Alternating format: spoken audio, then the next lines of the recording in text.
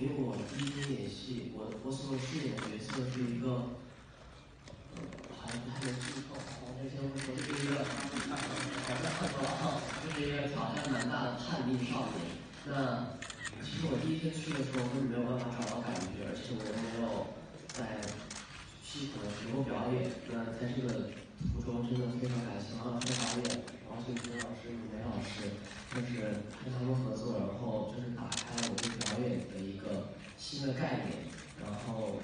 也非常感谢他们的时间照顾，希望大家能够。